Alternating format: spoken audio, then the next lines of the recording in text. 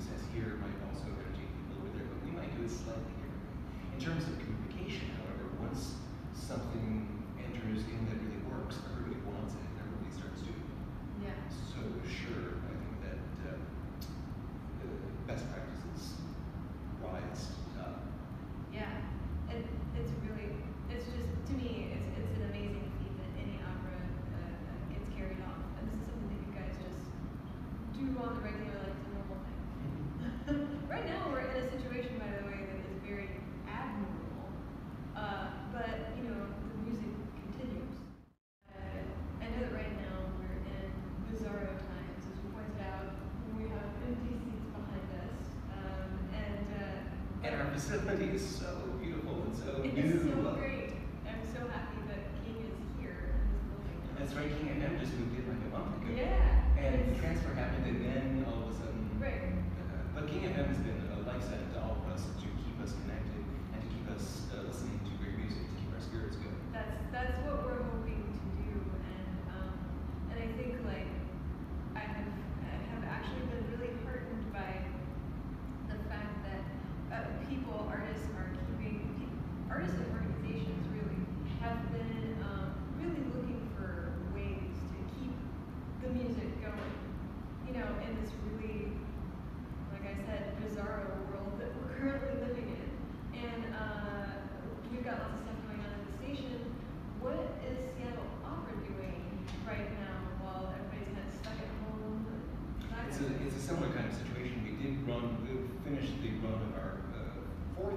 season, Charlie Murray's Yardbird, Bird went off. And, and I was although there were people who didn't come to final performances because of you know, the, the awareness of public.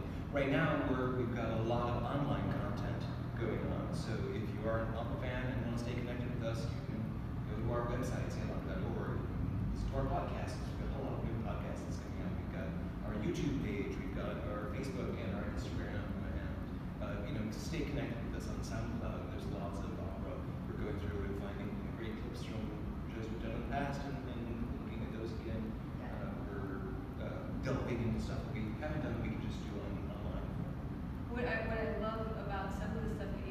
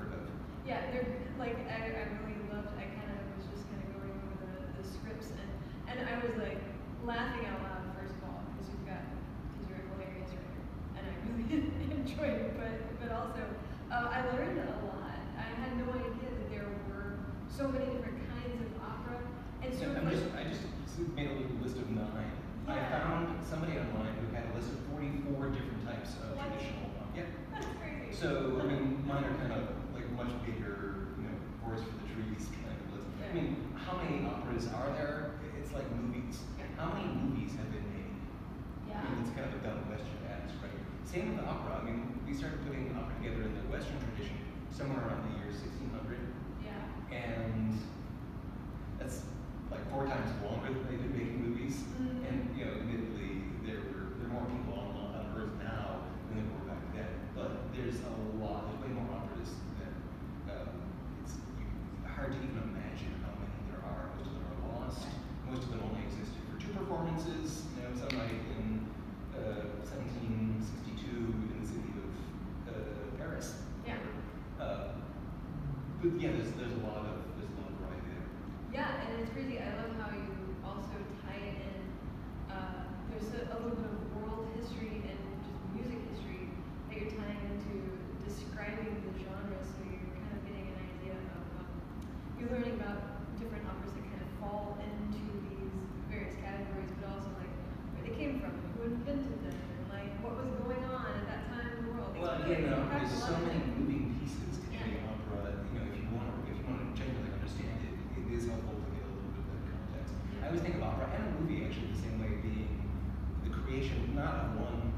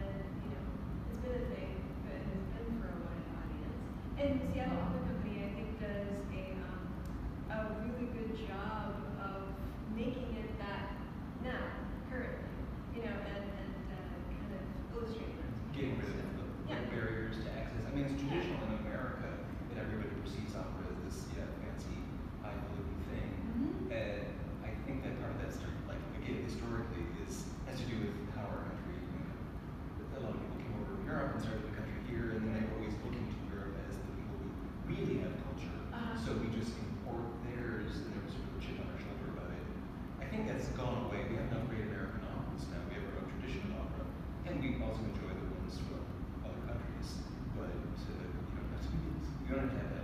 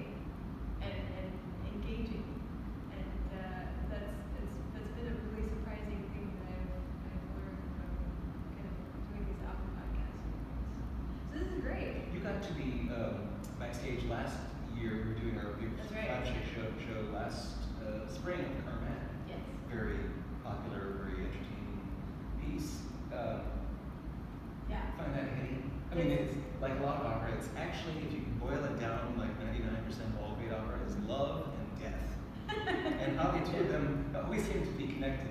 Yeah. Um, there's Carmen, Song of Love, and Death. Yeah, there were. Um,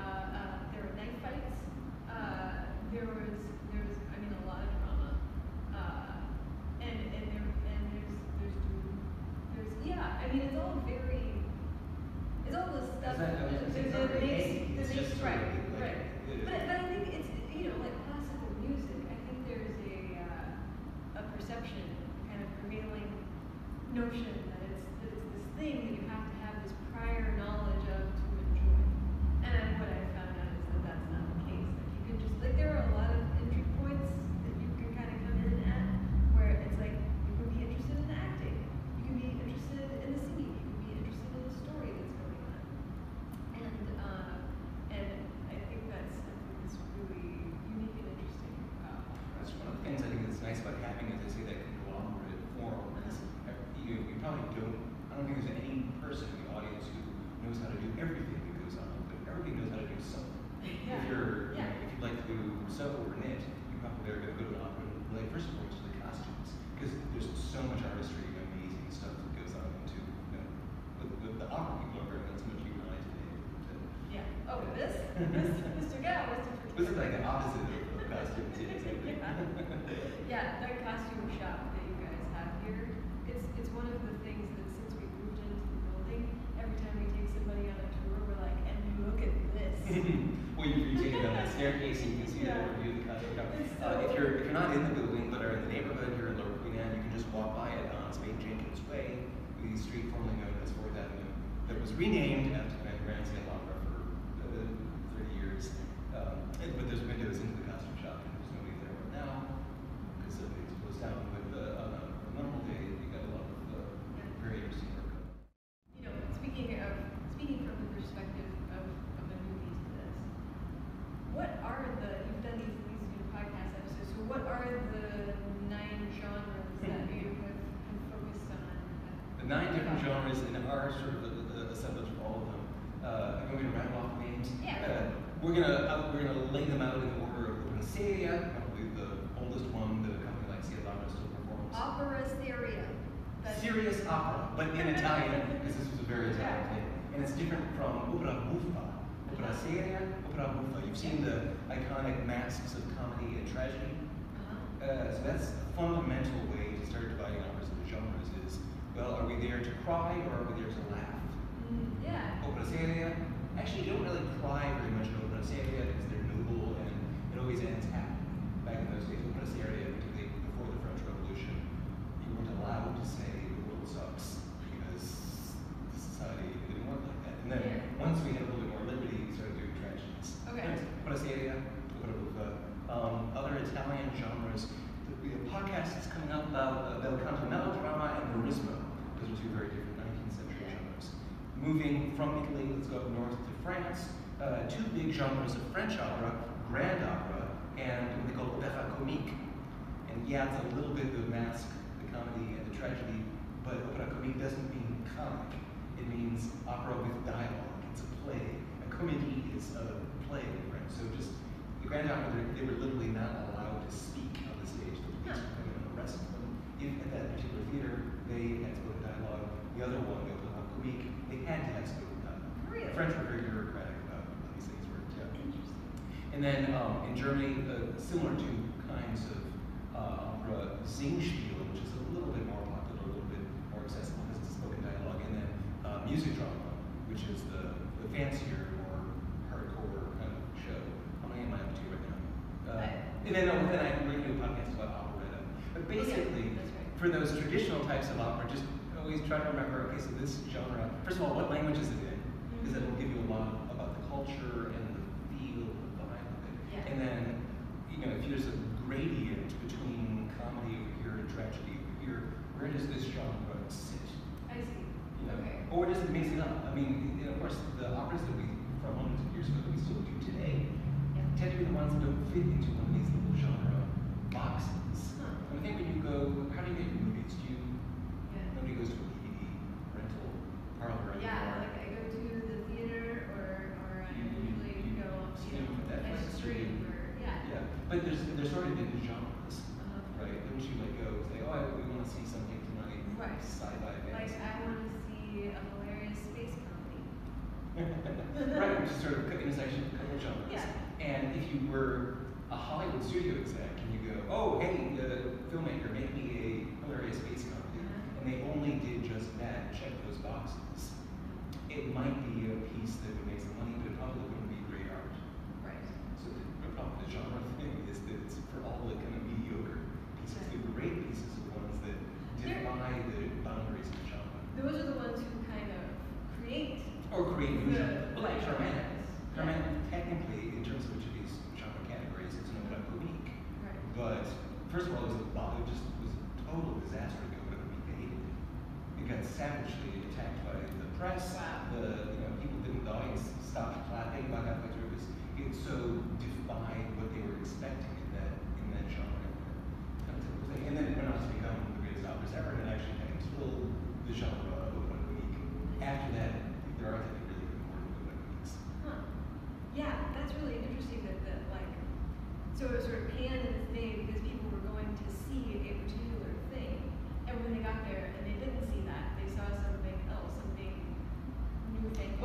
you go to if download your hilarious space comedy, then what if it ends up actually being in a kind of Star Trek mm-hmm. way about immigrant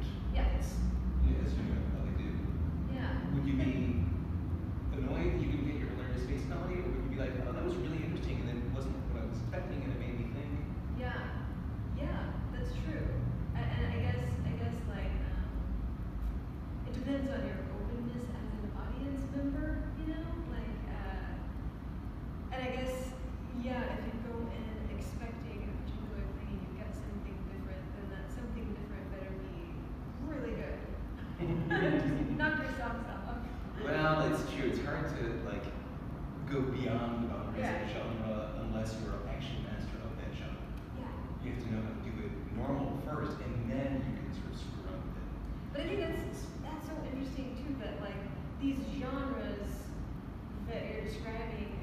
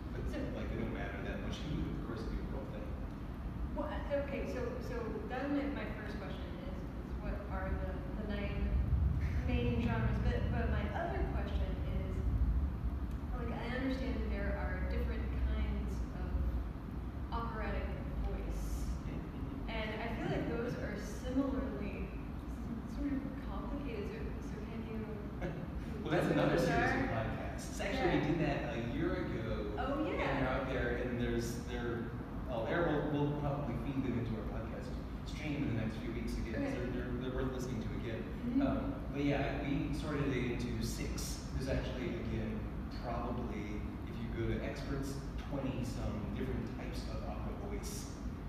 You know, so we think, oh, there's soprano and mezzo and contralto and tenor and baritone and bass. Six? Well, no, it's not that easy. Inside soprano, there's probably you know, five different you know, main yeah. types of sopranos, and then there might be other sopranos. So the voices are very uh, unique and individual and wonderful, but in a, they're so organic, it's not, it's hard to like, um, you know, King I know you guys play a lot of instrumental music, mm -hmm. and there are composers who think that voices should work like instruments. Yeah. And be interchangeable. Well, I wrote this for violin. Any violin should be able to play it. I wrote this for soprano. What do you mean you can't sing that? Yeah. You're a soprano. Well, no. It's much more. Um, I like to think of voices as being like into lines. Yeah. Uh-huh. You know, yes, there's a